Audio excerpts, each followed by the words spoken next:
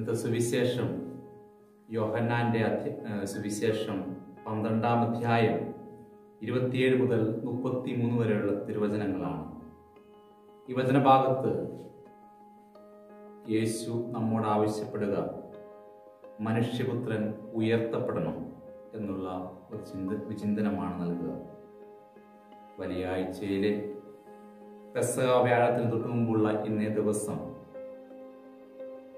മനുഷ്യപുത്രൻ ഉയർത്തപ്പെടണമെന്ന ദൈവത്തിന്റെ ഹിതം പൂർത്തീകരിക്കുവാനായിട്ട് ഈശോ നമ്മോട് ആവശ്യപ്പെടുകയാണ് സുവിശേഷത്തിലൂടെ.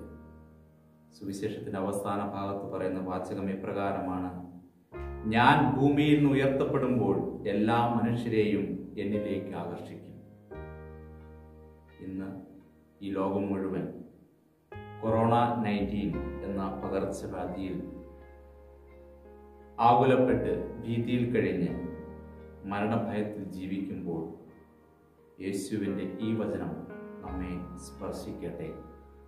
ഞാൻ ഭൂമിയിൽ ഉയർത്തപ്പെടുമ്പോൾ എല്ലാ മനുഷ്യരെയും എന്നിലേക്ക് ആകർഷിക്കും.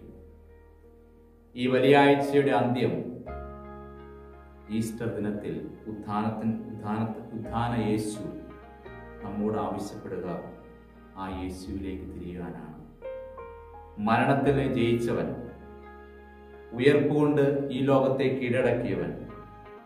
ഈ കൊറോണ നയന്റീൻ കോവിഡ് നയന്റീൻ എന്ന ഈ പകർച്ചവ്യാധി അലട്ടുമ്പോൾ നമ്മോടും ആവശ്യപ്പെടുക ആ ഉദ്ധിതനായ യേശുവിലേക്ക് തിരിയുവാനായിട്ടാണ്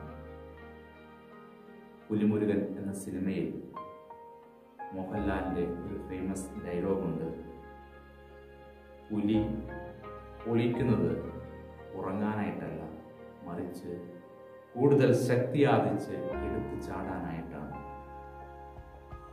ലോക്ക്ഡൗൺ പ്രഖ്യാപിച്ചതിന് ശേഷം വിശുദ്ധ കുർബാനയിലും ആണ്ട് കുംഭസ്ഥാനവും നടത്താൻ സാധിക്കാൻ നമുക്ക് ഈ കൊറോണ ഭീതി നമ്മിൽ ഉളവാക്കുമ്പോൾ കൂടുതൽ ഊർജസ്വലതയോടുകൂടി ദൈവത്തിന്റെ ശക്തി സ്വീകരിച്ചുകൊണ്ട് ഉയർത്തെഴുന്നേൽക്കുവാൻ ശക്തി പ്രാപിക്കുവാൻ നമ്മുടെ ക്രിസ്തീയ ജീവിതം പുഷ്ടിപ്പെടുത്തുവാൻ നമുക്ക് വരെ ശ്രമിക്കാം.